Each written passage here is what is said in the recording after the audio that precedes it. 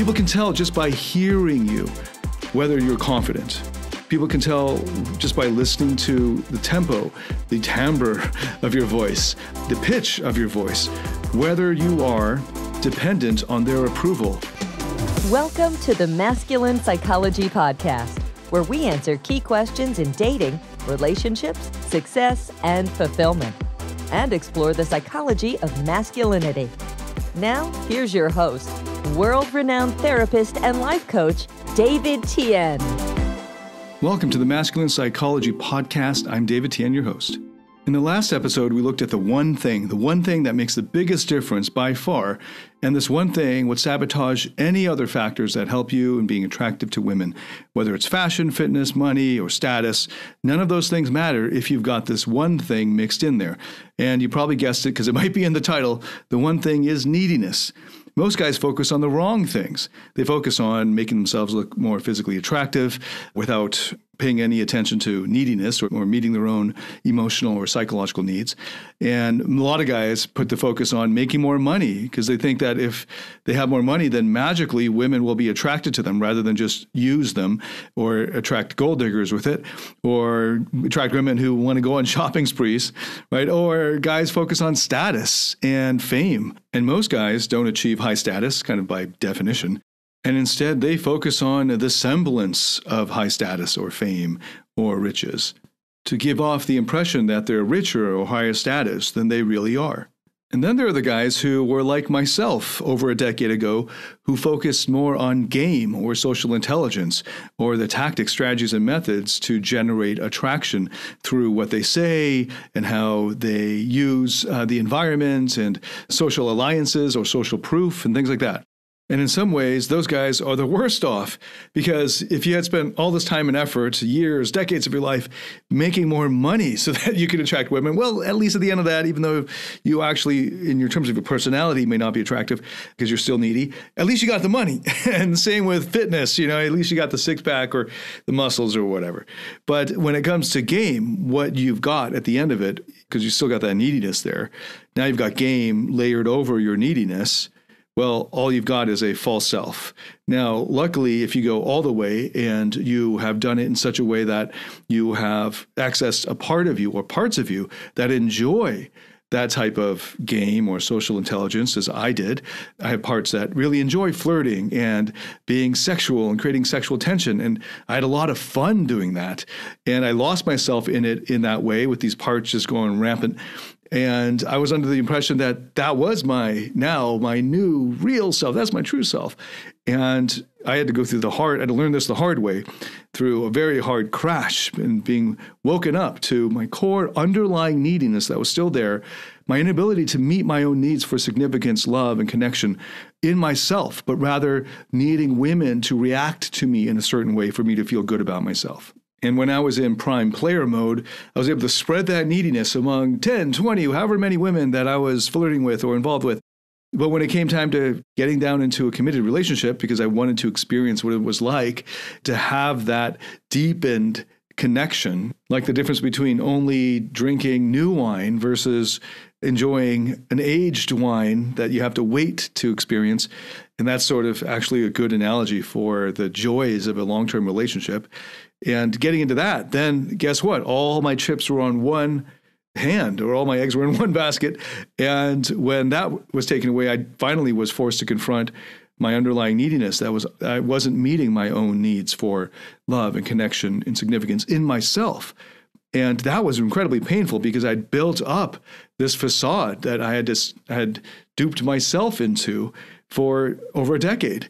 And it's like when you have a house of cards that you've been building up, and it's, it's like a Jenga tower now that's reached the ceiling. And when it comes and falls down, it makes a much louder bang and it's a much harder fall. and that was what I experienced. And I've seen so many guys go through that same cycle. And I try to warn them as they're building that tower, the facade, the mask, the personas, and leaning on those and shaming the parts of themselves that are vulnerable or holding the pain or the insecurities that are needy and not being able to meet their needs because they're trying to ignore them. They're exiling them, they're disowning them. They've thrust them into the shadows and locked them up or tried to kill them off. And if that's you, that's a very painful psychic split. And a lot of people are trying to get better at the psychic split. They're actually trying to get better at disowning parts of themselves, at exiling, at cutting off parts of themselves. And they're not even realizing it, of course. They don't even have the concepts to make sense of that. And hopefully, if you've been following this podcast for a while, you have the understanding of parts and exiles and protector parts and personas and the whole thing. But if you don't, well, this is the place to come. And neediness is a great place to start. So, this episode is going to be diving even deeper into the pervasiveness, the ubiquity, the all over everywhere. Neediness is just in everything that you do. It, it pollutes, infects, it spreads through all of your life. It is visible through all kinds of ways that you're not even aware of. And women who've evolved the mechanism to detect neediness, and I covered that in the last episode in more detail. So I'll assume you've listen to that. So at the end of this, go listen to that if you haven't listened to the last episode. Women have evolved these mechanisms to detect a man's neediness because that was the most effective and quickest way to tell whether a man would make a good mate. Because all of the other ways were easier to fake, hide, or they were ineffective in telling. So, neediness, which is displayed through his behavior, through all of these subcommunications, was a much more direct route to telling whether a man would have high survival value and would have the emotional health to take not only take care and survive himself, but to ensure the survival of her and their offspring. Okay, so there are all kinds of ways in which your neediness leaks through, not just in terms of the stereotypical ways that you see depicted in Hollywood rom coms. Great examples of neediness are like 500 Days of Summer, where the guy becomes this mopey, depressed boy when he gets dumped. And even while they were dating, he his whole the only thing the only way he could have fun was when he's seeing her and she brings all the color to his life. Without her, his life is colorless. And when she likes him or when they first start dating, he's like dancing down the street, singing down the streets because she makes his life amazing. That's neediness because he's unable to make his own life amazing in, in himself. He's an, unable to meet his own needs for excitement and joy and pleasure and fun and play and spontaneity and adventure. And of course, unable to meet his own needs for love, unconditional love, and connection, and worthiness, and being enough, and significance. And the inability to meet your own needs, these needs I've just rattled off, your inability to meet these needs, you actually leak through, you betray yourself through all kinds of ways. I'm going to just rattle off some more. You betray yourself through your subcommunications, through the sound of your voice. People can tell just by hearing you whether you're confident. People can tell just by listening to the tempo, the timbre of your voice, the pitch of your voice, whether you are dependent on their approval for you to feel good about yourself. We can also tell through your body language, through the way you gesture, through how you stand, whether you stand up tall or you crouch, whether you look down or you look up, or whether your chin is up, whether your shoulders are back, whether your chest is expanded and broad, how you walk, how you move ex- displays whether you're happy or you're confident or you're instead uh, insecure and afraid or hesitant. We can see all of that, even if we don't know the words that you're saying. We can hear it through your voice. We can see it through your body language. We can also hear it through your word choices. Now, when it comes to verbal content, I probably don't need to say much because a lot of guys are focused, hyper focused, or only focused, solely focused on the words that they type or text and the words that they say. But obviously, the words matter too. And if you believe it or not, when it comes to texting, when she can't hear the sound of your voice and she can't see your body language, but she can see your word choices and your emoji choices or lack thereof, also the tone of the writing that you put out there, the length of the messages that you send. All of these convey how you're feeling and thinking behind what you're actually typing. And women love trying to break this down because it triggers their neediness detector in a way where there's a lot of ambiguity, but their neediness detectors are working very, very hard to try to decode the level of neediness displayed through your text messages. Now, as a man, you probably have no clue what you're actually conveying through the text messages. And that's why some companies that just take over your Tinder account or whatever message on your behalf are so popular because guys don't get it. And there are also companies that will just give you copy and paste and you just copy somebody else's, some other guy's messages. And these are very popular because guys don't get it. They don't understand how their neediness, the, the qualities of their attractiveness or lack thereof are leaked through, displayed through inadvertently not through the obvious surface level meanings of the words they choose, but through the tone and through the writing style. Okay, on top of all these sub communications, the sound of your voice, your body language, the word choices, the way that you write, or the way the words that you've chosen to speak. There's also micro expressions. Now, this is a heavily researched field and area.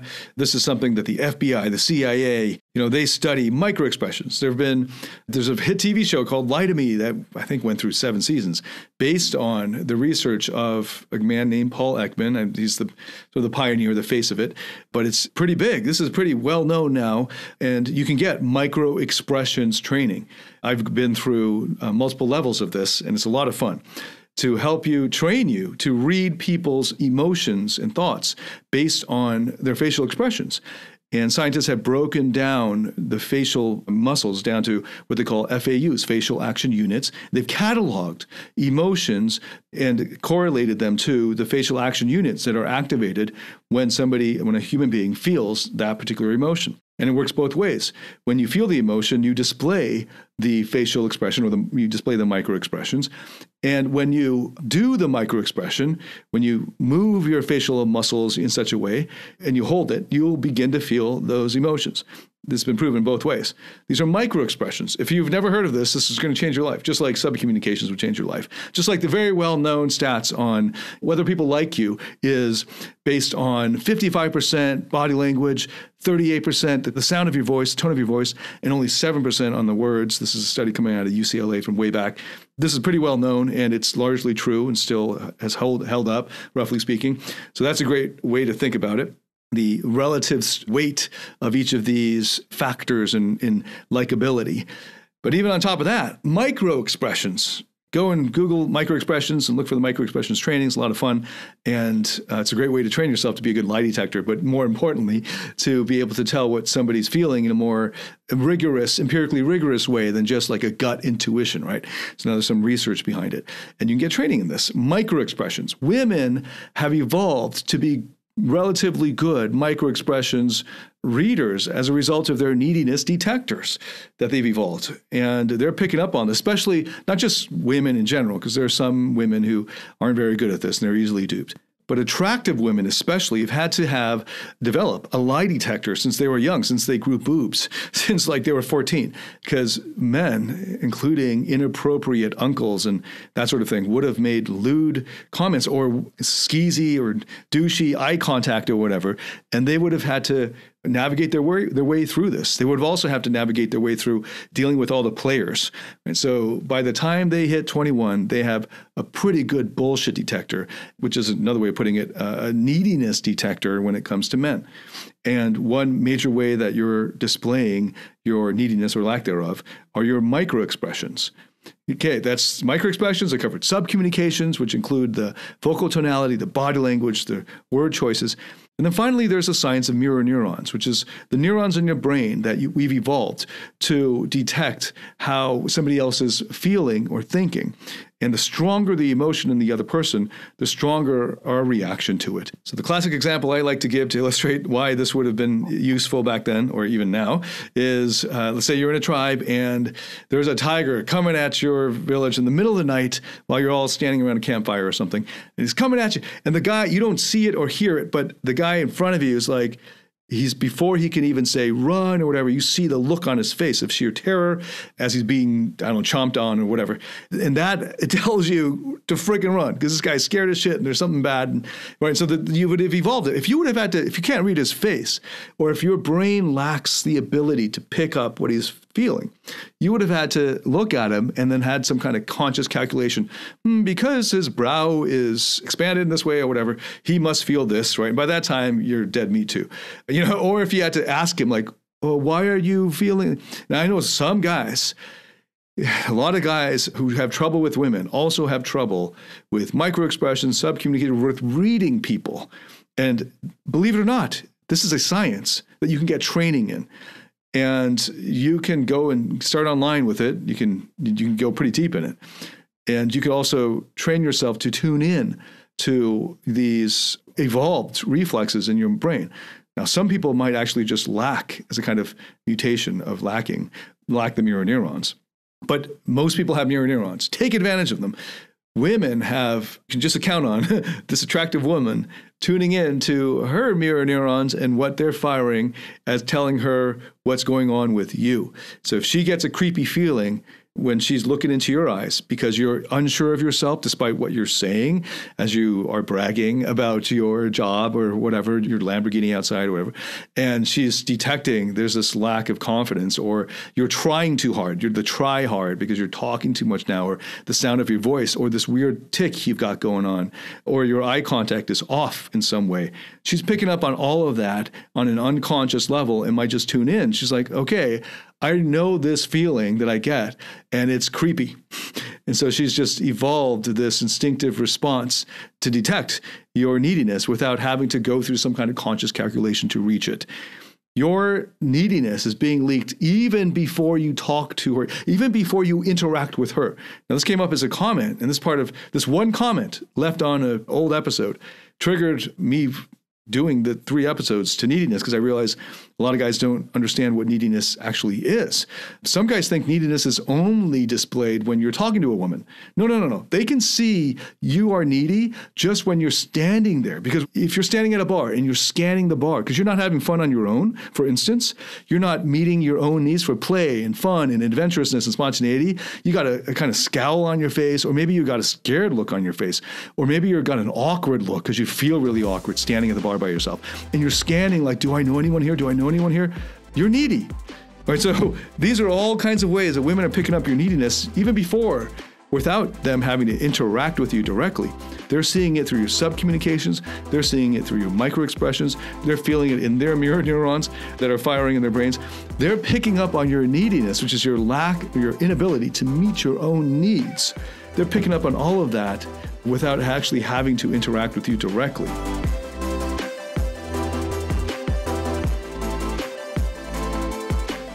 Do you struggle in your interactions with women or in your intimate relationship? Are fear, shame, or neediness sabotaging your relationships or attractiveness? In my Platinum Partnership Program, you'll discover how to transform your psychological issues, improve your success with women, and uncover your true self. Get access to all my current and future online courses by applying for the Platinum Partnership today at davidtianphd.com backslash platinum. So, my definition of neediness is when you're unable to meet your own emotional or psychological needs. My friend Mark Manson's got a great definition of neediness that is consistent with mine, and his goes like this Neediness occurs when you place a higher priority on what others think of you than what you think of yourself. And then he gives some great examples of neediness. And I'm going to read out some of these because he's a great writer as well. And then after that, I'm going to give you some examples of neediness in common dating scenarios. Okay, so quoting Mark here, Mark Manson, a few examples. A needy person wants their friends to think they're cool or funny or smart and will constantly try to impress them with their coolness or humor or smart opinions about everything. A non needy person just enjoys spending time with their friends for the sake of spending time with them and doesn't feel the need to perform around them. A needy person buys clothes based on whether or not they think other people will think they look good in them, or at least what they think is safe to wear. A non needy person buys clothes based on their own personal sense of style that they've developed over time.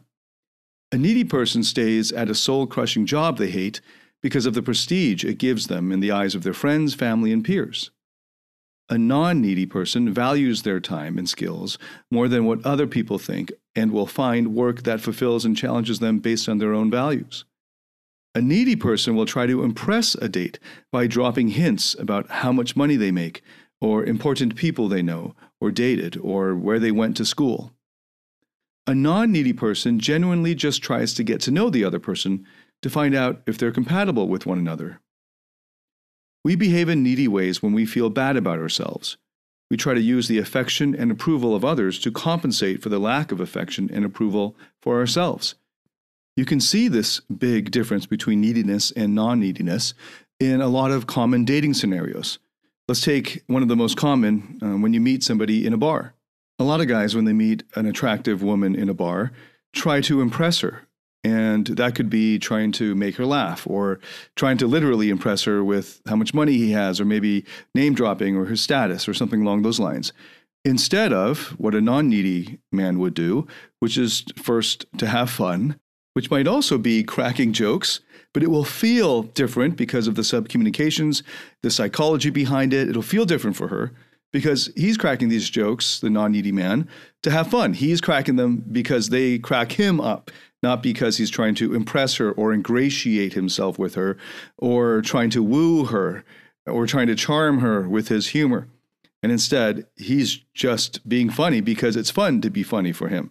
He's saying or doing things that are funny because he thinks they're funny. And he thinks maybe she'll also find them funny. So he's sharing them with her. Versus the man who's trying to use that to impress her and in the bar, you see this a lot. This is what I call the do more trap. These guys at the bar, or when they're meeting an attractive woman and trying to impress her, they move into a doing mode of doing stuff to win her over instead of just enjoying himself or having fun and learning about her, genuinely, sincerely, authentically learning about her to see whether she's worth his time out of all these other people there or whatever else he could be doing with his time. The same goes for texting. Believe it or not, even though she can't see you or hear your voice when you're texting, she's able to pick up if she's socially savvy. And most attractive women have had a lot of experience with men trying to pick them up or impress them or perform for them to woo them and all that to, to win her over. And she can tell if you're putting a lot of time and effort into the text exchange because you need her validation or you need her to like you or you really, really, really want her to like you versus you having a communication where you're trying to nail down the time and the date or you're sharing something fun that you'd like to go to and invite her to because you think it's fun and you think there's a decent chance she might think it's fun. So that's it. Versus the guy who puts tons of time and effort into crafting this perfect, exquisite text message in the efforts of, like, in the hopes of winning her over with it and then pressing send. If that's your mindset, you will sub communicate through your writing style your neediness and it will turn her off. If you're unable to meet your own needs for connection, for feeling significant or worthy, for feeling secure, then very likely when you go on a date with an attractive woman, you'll try too hard to win her over or impress her. You're going to put in way more time and effort than she would into uh, trying to make this date special enough that she will like you enough to come out on the next date. Whereas the non needy man, when he goes on the date, first of all, would choose the time and place that is convenient for him, but is also convenient for her and someplace that he really enjoys at a time that's that works for him and would be having conversation that he enjoys about topics that he's interested in and would be genuinely interested sincerely interested in her and her viewpoints and connecting with her and so forth and getting to know her as a person. And his happiness overall and even his happiness on the date is not dependent on her reaction or response to him nor is it dependent on her opinion of him or her judgment of him. Now, I know for a lot of guys listening to this, this may sound really far fetched. It may even be counter to the whole point for them of going on a date with an attractive woman in the first place. I know that this is what many men feel and think. That's why, one major reason why I've dedicated these episodes to this topic and why I think it's so important that so many men know that they need the therapeutic process. You need a therapeutic process. You don't need all that other red pill stuff or the dating tip stuff or any of that. That will actually just make you needier because it's all feeding into your neediness.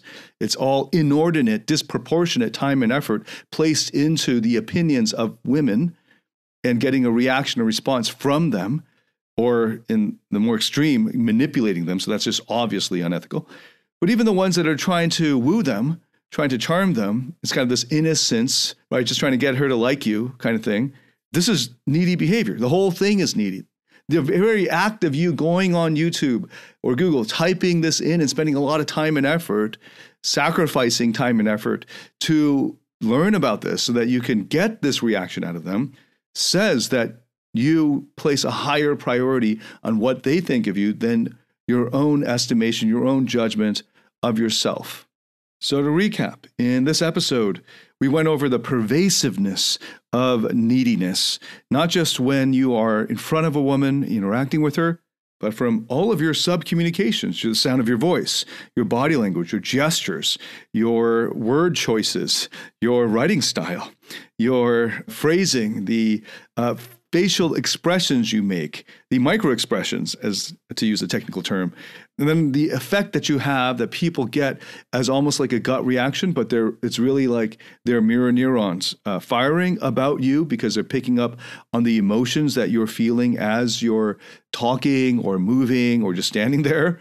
And then we went over some examples of needy behavior versus non needy behavior in everyday life as well as in common dating scenarios. Now, I want to tell you a quick story about a client named Paul to illustrate how all of this works. When Paul started out on this journey of learning how to get better with women, and he first came onto our material online and took some online courses, and he got really good at the outer, well, outer game, so to speak, the externalities of it. His body language, his eye contact, his tonality, his fashion really picked up. His lifestyle was growing so that he had developed a lifestyle through my course, Lifestyle Mastery, that brought women naturally into his social sphere, into his life, and was an, like an organic way of meeting new women. And he had this going for him all the time, as 24 7 with his social media accounts and everything that we cover in our various courses. And he was living the player lifestyle. But this was all on the outside.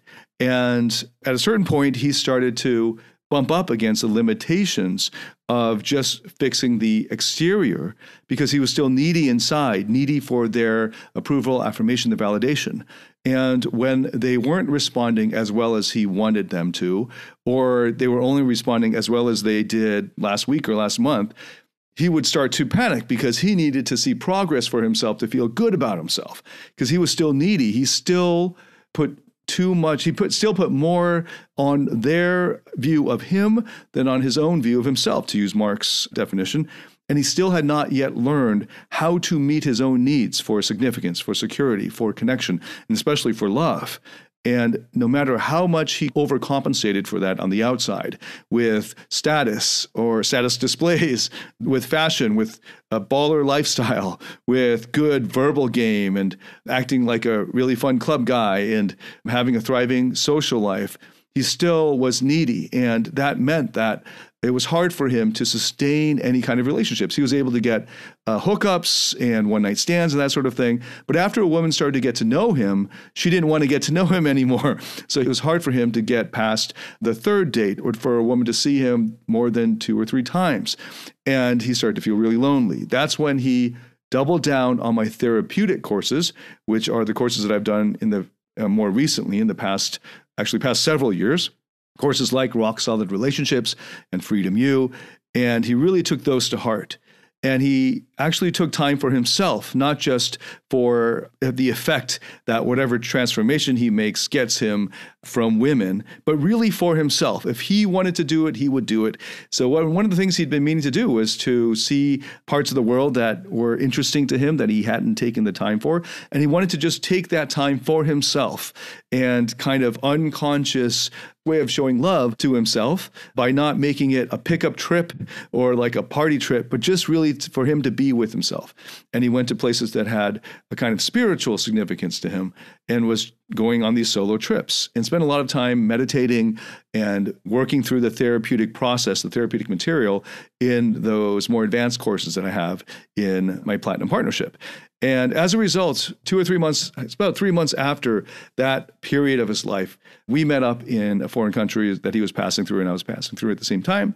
And he had a completely different vibe. He was displaying totally different sub communications, where I was picking up a very different feeling from him, where instead of where he was seemed to be trying hard to impress others, just the sort of veneer of trying too hard, doing too much, this kind of neediness that he was exuding, even though it was still entertaining and uh, pleasurable.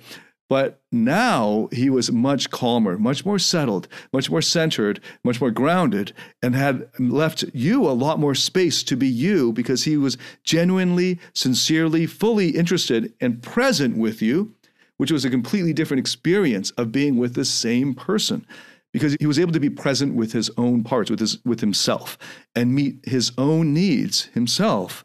And that requires being present, being fully there for you, and loving your own parts, including your vulnerable parts, including your needy parts. And that required accessing higher self in him. And he had started this journey and is still on it. And it's amazing to watch his progress through this. And that's an interesting contrast that I want to just make that you could overcompensate for your neediness in the short term with club game, with flashy lifestyle, with um, possessions, or just show off type of showy type of things that attract slutty girls, club girls, you know, and they might be into you for a short period of time, you know, until they get to know you deeper or until the shit hits the fan and you are now not just entertaining anymore, but you actually need someone to rely on. They're not going to be there for you because they're just there because of those external goods or value that you give them. And when you stop giving them that value, well, they didn't really care about you as a person. And Paul discovered that the hard way. And he discovered that this was a treadmill that he had to keep running. He couldn't stop if he wanted to keep this lifestyle up. And that was really made him empty inside. And what he wanted was something deeper. And so he took that time for himself to go through the therapeutic process as a gift to himself and to his vulnerable parts to learn about them and learn how to meet his own needs, his own parts' needs, his inner child parts, and uh, the various other powerful parts of himself. And that leads to one of the objections that I hear along the way when a guy starts to mature enough that he can understand this message of neediness, that he's not so short term focused like an adolescent teenager who just wants to get laid.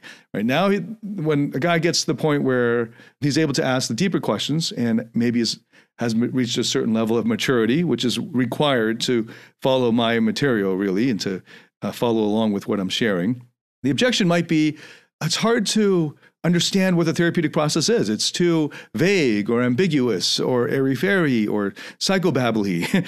and I understand that. I, at one point, thought that myself, and that ended up delaying my own maturation for several years and ended up with several more years of pain and anguish and going in circles. So I don't want that for you. So in the next episode, I'll be breaking down for you what the therapeutic process is so that it answers the question of what do I do now? How do I overcome neediness? How do I meet my own needs? Because that's the answer to it. If you value others' opinions of yourself over your own opinion of yourself, then you're needy. And what do you do? But how do you get rid of that? How do you overcome that?